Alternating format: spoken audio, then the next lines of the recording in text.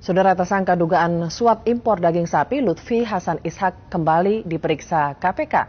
Mantan Presiden Partai Keadilan Sejahtera ini saudara datang ke KPK dengan mengenakan seragam baru tahanan KPK. Seragam baru KPK dikenakan tersangka kasus suap impor daging Lutfi Hasan Ishak saat diperiksa KPK hari ini. Namun Lutfi enggan mengomentari kasus korupsi yang membelitnya maupun seragam baru KPK. Seragam yang dipakai mantan Presiden PKS ini menggantikan seragam lama KPK yang berwarna putih. Rompi tanpa lengan ini didesain khusus untuk tahanan saat menghadiri pemeriksaan atau persidangan. Setelah diluncurkan Jumat lalu, mulai Senin para tahanan KPK diwajibkan mengenakan seragam baru mereka.